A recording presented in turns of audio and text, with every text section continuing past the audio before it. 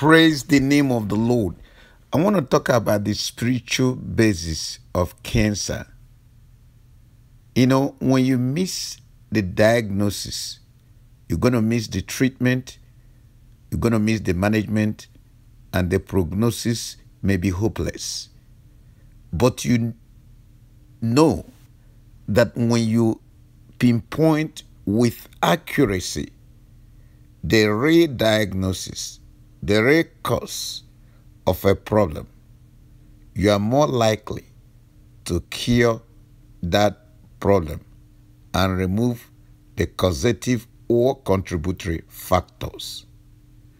I want to examine the root and the key issue concerning the menace, the curse, the disease, and the devastation called cancer. Cancer is not just a name. In the spirit realm, cancer looks like crab. The demon of cancer, the evil spirit of cancer, resembles a crab. Actually, that's the name. If you look at the signs of the zodiac, cancer is crab. And that's exactly the way the demon looks in the realm of the spirit. It's a foul spirit. And because it's a foul spirit, the smell is like the smell of death when you visit a cancer ward in an oncology unit of a major hospital.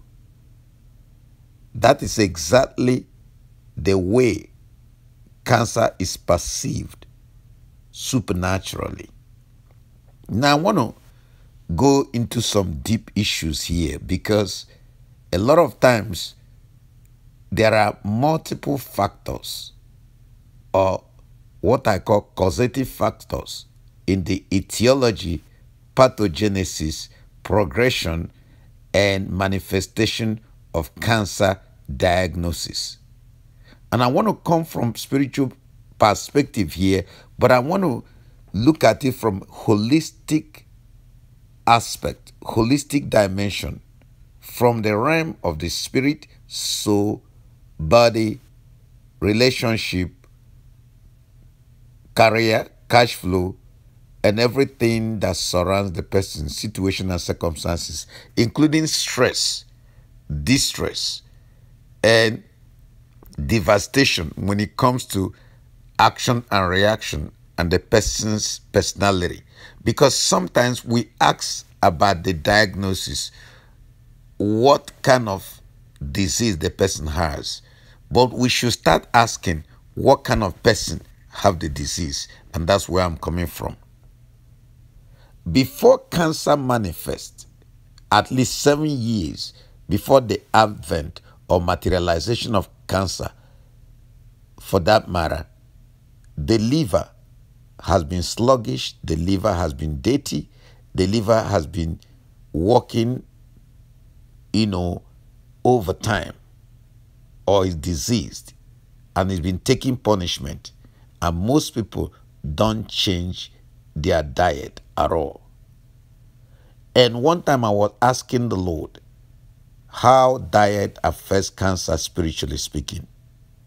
And the answer was that dietary deficiency or nutrient deficiency, the building block of tissues, organs, glands, and cells, when the cells lack this tissue, they start cutting corners, they become weak, and weakness attracts the arrow of cancer and makes it more devastating.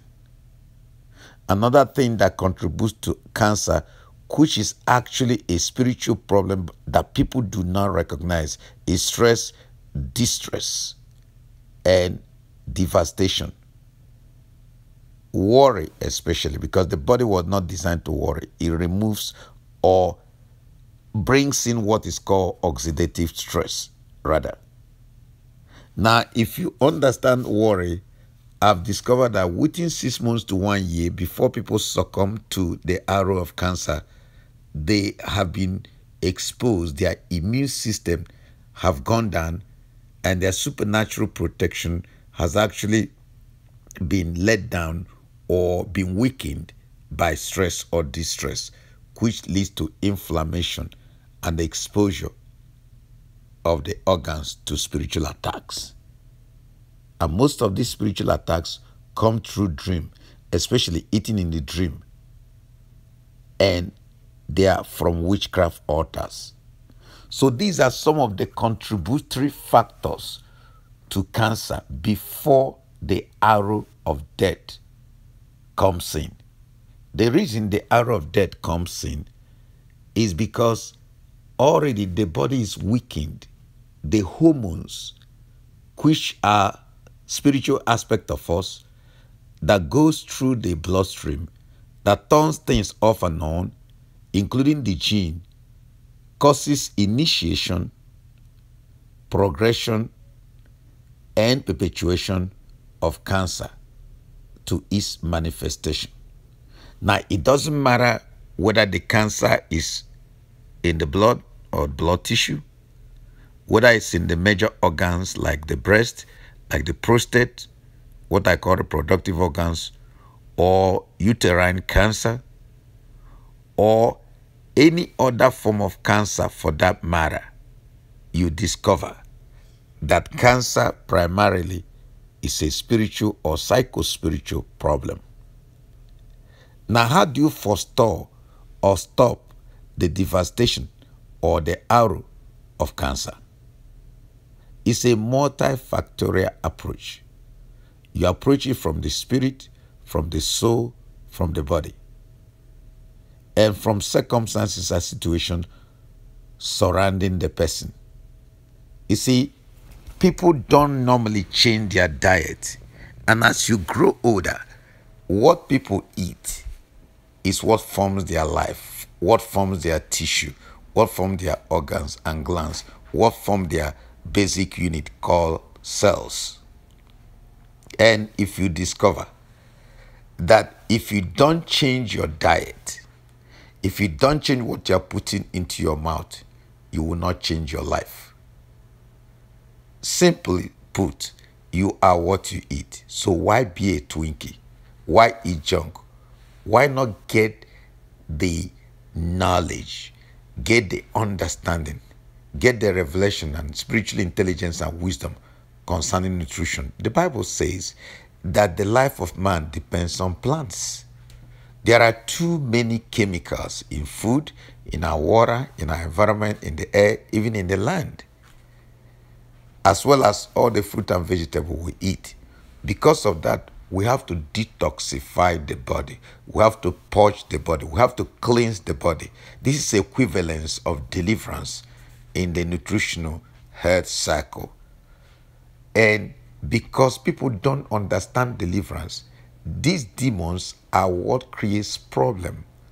Because when the immunity is done and there is weakness, supernatural, spiritual, physical, uh, psycho spiritual weakness, that creates the background, that creates the bedrock, that creates the platform for arrow or spirit of cancer to stick. And once it sticks, all other things follow. It becomes a process of downward heel.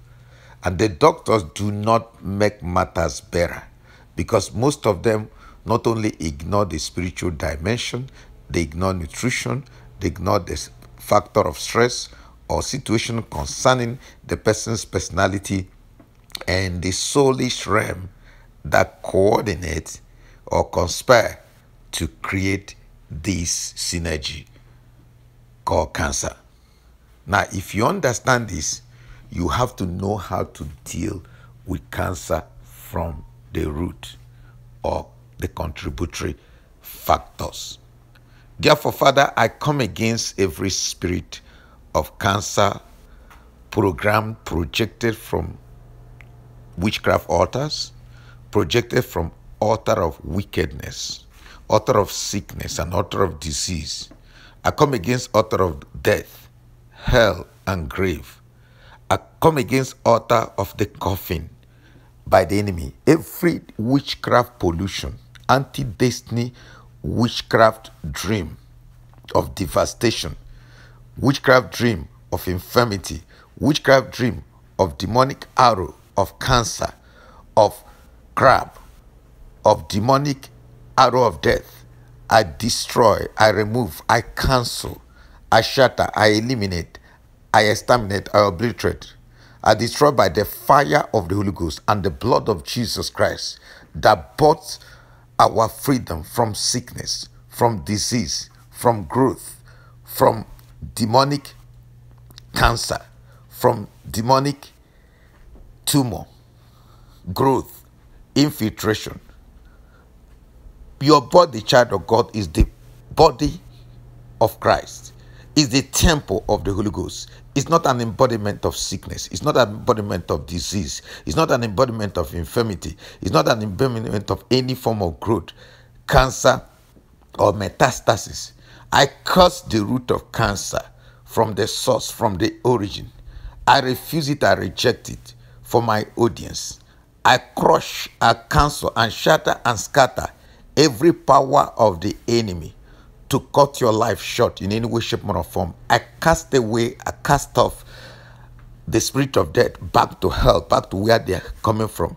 Arrow of cancer, go back to hell, and I lock you in Dragon Dungeon, never to visit the body of my audience again. As you listen to the voice of this prayer, I crush by the blood of Jesus Christ and the fire of the Holy Ghost and the word of God that has been sent. Father, you said you sent your word and healed them and redeemed them from every destruction of the enemy. And Father, I use the sword of the Spirit, which is the word of God, and put it in the heart of the enemy. And I cancel every root, every remnant, every seedling of cancer, no matter the type of organ, whether it's breast cancer, blood cancer, prostate cancer, reproductive cancer, cancer or tumor anywhere in the body. I use it as a point of contact to destroy every growth, to destroy every demonic tumor or cancer or devastation or metastasis or seedling in the liver, in the kidneys, in the brain, or wherever it has spread in the body. I refuse and reject it. I cancel it. I devastate it. I destroy it. I nip it in the bud. I cause the root, I cause the origin, I cause the source by the fire of the Holy Ghost, right from the spirit realm, in the mighty name of Jesus Christ. Be cancer free. I eliminate cancer. I send it back to hell where it belongs because it's not God's plan and purpose for his children. Our heritage, our inheritance in divine health is wholeness and newness and wellness, to walk in perfect health, to walk in perfect harmony, to walk in perfect newness, to perf- walk in perfect hormonal balance and hormonal uh, uh, construction according to perfect biochemistry, perfect physiology, perfect anatomy, perfect structure and function as God will have it in the mighty name of Jesus Christ. I walk in divine health and I pray it for my audience. I pray divine wholeness and wellness and newness in their life. And Father, I thank you, I bless you because you have spare parts of every organ in the body. You have spare parts of every tissue, of every cell. You have spare part of every organ and every gland in our body. And Father, I thank you from the crown of our head to the sole of our feet as I pray for my audience, O God. I drive away every seedling by the glory of God, by the fire of the Holy Ghost, and by the anointing of God that breaks every yoke, break every shackle, break every chain, and remove your people from the bondage of sickness and disease of any type or description. You are diagnosed with cancer, and at the mention of name of Jesus Christ, you must bow, you must go, you must disappear and go back to hell, and go back to where you come from, and be locked up in dragon dungeon, never to show up again in the body of my audience in any way, shape, or form. Father, I thank you for your people. I thank you for enjoyment of perfect health, and I destroy every altar that is programming and projecting evil, programming cancer, programming growth, programming high blood pressure, programming diabetes, programming organ failure, programming organ derangement, or organ hiccup in any way, shape, or form. Thank you, King of Glory, and I pray divine peace, shalom nothing missing, nothing broken, nothing out of joint. And I pray complete and total awareness from the crown of your head, my audience to the sole of your feet, even up to the tips of your finger. Let the fire of God, let the fire of healing, let the fire of deliverance, let the fire of wholeness and newness, let the fire of restoration of health come through you, come over you, go through you, heal you totally and completely in perfect order